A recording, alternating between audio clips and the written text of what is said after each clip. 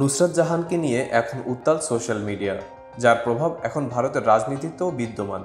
অভিনেত্রী ও সাংসদ নুসরাতের মা হবার খবর প্রকাশ্যে আসার পর থেকেই নেট দুনিয়ায় ব্যাপক গুঞ্জন সৃষ্টি হয়েছে। তার অনাগত সন্তানের পিতৃ পরিচয় কি, এমন প্রশ্নই এখন ঘুরপাক খাচ্ছে। মূলত ব্যবসায়ী নিখিল জৈনকে বিয়ে এবং সম্প্রতি সময়ে যশ দাশগুপ্তর সঙ্গে সম্পর্ক নিয়ে খবরের শিরোনাম তিনি। বিতর্ক যেন পিছু ছাড়ছে না তাকে। গত পাঁচ দিন ধরে সামাজিক যোগাযোগ মাধ্যমে এমন বিতর্ক তুঙ্গে।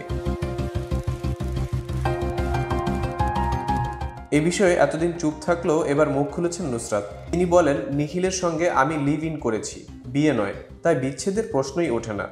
তবে নুসরাত নিখিলের সঙ্গে লিভ ইন করেছেন বলে দাবি করলেও সরকারি নথিতে তিনি বিবাহিতা এবং স্বামীর নাম নিখিল জৈন। এদিকে নুসরাতের বিবাহ পরিচয়কে কেন্দ্র করে পশ্চিমবঙ্গ সহ ভারতের রাজনৈতিক মহলে সমালোচনার ঝড় বইছে। রাজনৈতিক মহলের বক্তব্য, একজন জনপ্রতিনিধি কীভাবে সংসদে অসত্য তথ্য দেন? তার বিরুদ্ধে স্বাধিকার ভঙ্গের অভিযোগ আনা যায়। কারণ সংসদের রেকর্ড অনুযায়ী তিনি নিখিল জৈনকে বিবাহ করেছেন।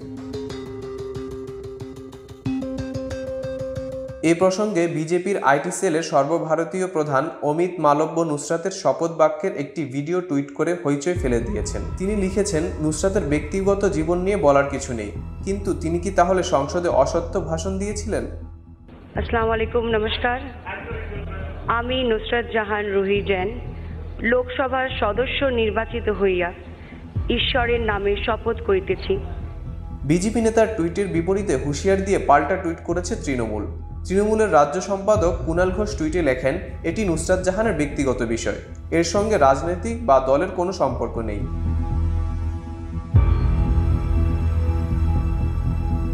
প্রেম করে ব্যবসায়ী নিখিল জৈনকে বিয়ে করেন নুসরাত। দুই হাজার উনিশ সালে তুরস্কে গিয়ে ঘটা করে বিয়ে করেছিলেন তারা। সম্পর্কে টানাপড়নে ফেসবুক সহ অন্যান্য সোশ্যাল প্ল্যাটফর্ম থেকে নিখিলের সঙ্গে ছবি সরিয়ে নিলেও নেটিজেনরা আগের ছবিগুলো প্রকাশ করছেন। বিয়ের সম্পর্ককে অস্বীকার করে কলকাতার সংবাদ মাধ্যমকে দেওয়া এক সাক্ষাৎকারে নুসরাত জানান, হিন্দু মুসলিম বিবাহের ক্ষেত্রে যে বিশেষ বিবাহ আইন আছে তা মানা হয়নি। তাই এটা কোনো বিয়েই না। এদিকে ভারতের গণমাধ্যমকে নিখিল জানিয়েছেন, তিনি যখন জানতে পারেন নুসরাত তার সঙ্গে থাকতে চায় না, অন্য কারোর সঙ্গে থাকতে চায়, সেদিনই তিনি তার বিরুদ্ধে দেওয়ানি মামলা করেন। প্রসঙ্গত, নিখিলের সঙ্গে সম্পর্ক থাকা অবস্থায় অভিনেতা যশ দাস গুপ্তের প্রেমে পড়েন নুসরাত। দু হাজার বিশ সালে এসওএস কলকাতা ছবির শুটিংয়ে তাদের মধ্যে ঘনিষ্ঠতা বাড়ে। শোনা যায়, দক্ষিণেশ্বরে তাদের বিয়েও হয়েছে।